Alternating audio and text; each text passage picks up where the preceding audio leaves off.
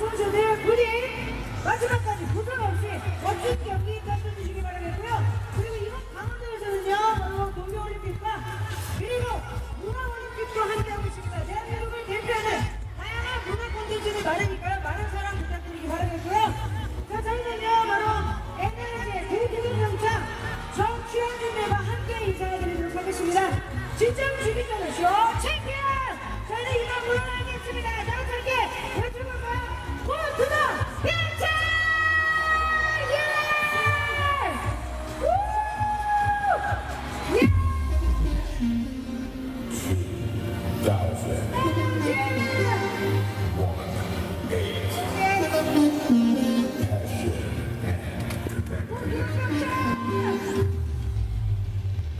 We